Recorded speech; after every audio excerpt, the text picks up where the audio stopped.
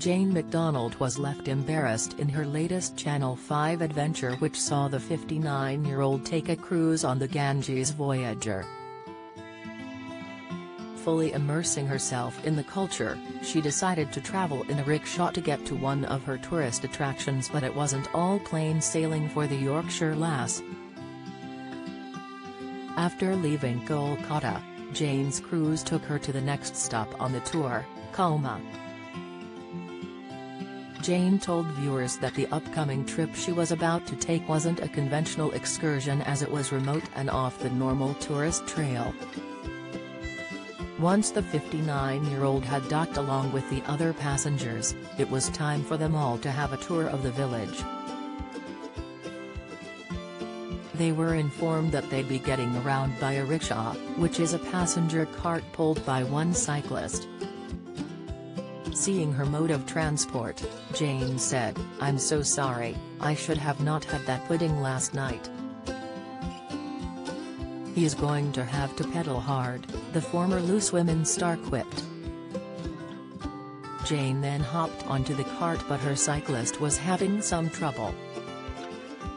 In a voiceover, she said, Okay, I'll come clean, it was two puddings last night. Jane said in the show, Oh dear, I'm too heavy for him. In the end, the man had to get off the bike and started to use his strength to pull Jane instead of pedaling. Shocked, she exclaimed, he's having to pull me up the hill.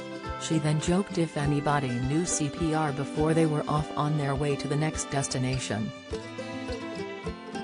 In the show, Jane informed viewers that she was traveling around India in January which is one of the coldest months. Describing the cooler climate, she said, it's quite crisp in temperature. Everybody's still got their scarves and their gloves on as it's quite cold. Traveling through the streets in her rickshaw, Jane admitted it was something she would have never done unless she had taken part in this cruise.